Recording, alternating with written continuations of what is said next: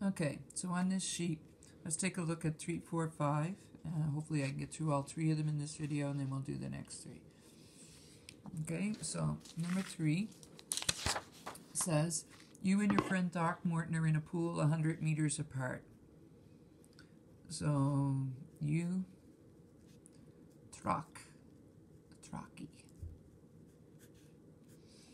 Um, starting from rest. So, VI is 0.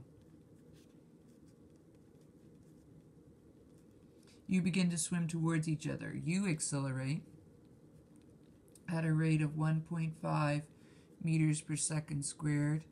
Oops, Throcky's acceleration 1.2 meters per second squared. How far has each traveled when you meet? Okay, so here you are. There's water here, I swear. Here Throcky is, you, and you're 100 meters apart. So you're going to go some distance this way. Throcky's going to go some distance this way. In the end, delta D of U plus delta D of Throckmorton needs to equal 100 meters. And so we need a delta D for U. It'll be VI delta T plus 1 half A for U delta T squared. We need a delta D for Throckmorton. VI delta T plus 1 half a delta t squared. The times are going to be the same. The VI's are 0, so these two terms disappear. We can't solve for delta D for either of you because we don't know the time. So just like in all the other questions, we're going to sub in to our equation that connects our delta D's.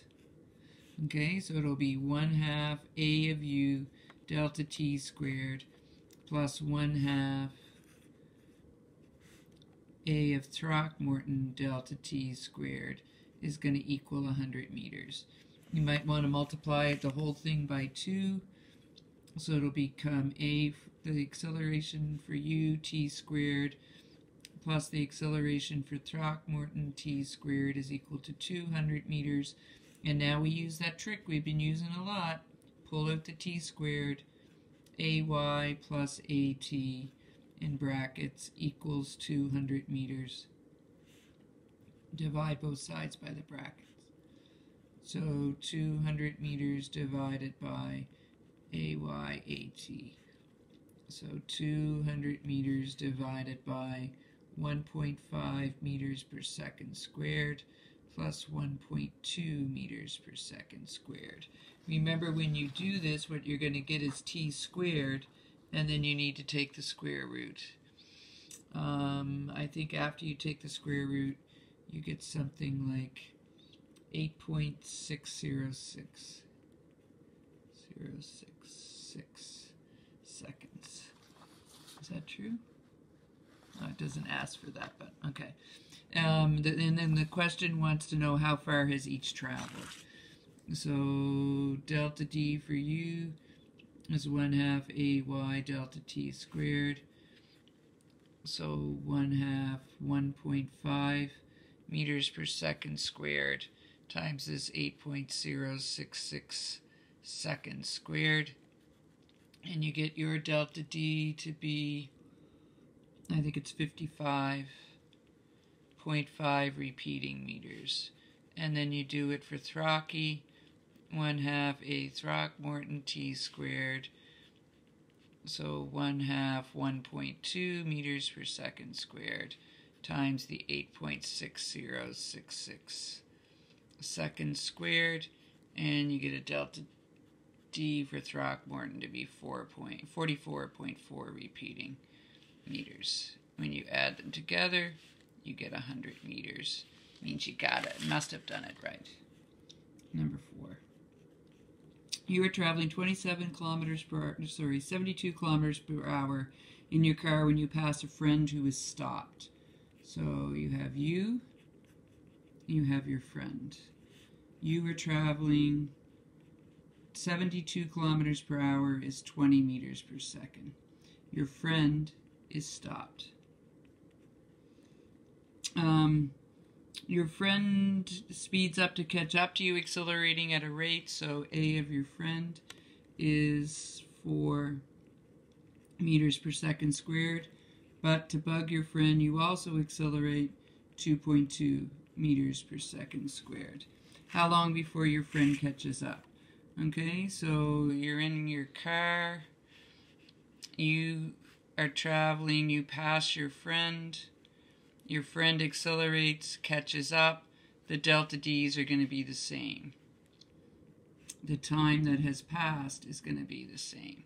So delta d of u is going to equal delta d of your friend. Delta d of u, delta d is equal to vi delta t plus 1 half a for u delta t squared. For your friend, vi delta t 1 half a friend delta t squared, but this is 0. So now we're going to set them equal because that's what this says. We're going to fill in again, just like we have before. So it'll be vi delta t plus 1 half u delta t squared, and that will equal 1 half a of your friend delta t squared. Now if you take a look at this, you'll see there's a delta t in every term. So you could divide each term by delta t. And so you'll be left with vi plus 1 half a for u delta t equals 1 half a of your friend delta t. Want to solve for delta t, so take your the ay 1 half ay delta t squared for your delta t over. So it'll equal 1 half a of your friend delta t minus 1 half a of u delta t. You might want to multiply everything by 2 here. So 2vi is equal to a friend delta t minus a for u delta t. Pull out the delta t. a of friend minus a of u is equal to 2vi. And now divide both sides by the bracket. So 2vi over af minus ay.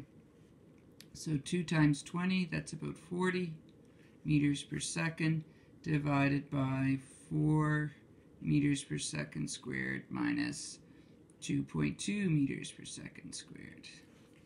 And when you do this, you get an A, or excuse me, you get a time of 22.2 repeating seconds. Okay, so the question wants to know how far have you each traveled, so now you would go back up here. Delta d of u is equal to 20 meters per second times 22.2 repeating uh, seconds, 1 half 2.2 meters per second squared, 22.2 repeating seconds squared, and you find out that you have traveled 987.654 etc. Actually, it's 654321, which is kind of cool if you don't round at all, meters. And then you would do the same thing for your friend. 1 half a friend delta t squared. 1 half 4 meters per second squared. 22.2 repeating seconds squared. And lo and behold, you get exactly the same answer, 654321 meters. Okay, so that's number three and number four. I'm not going to have time to do number five on this. So I'm going to stop and do it on the next one.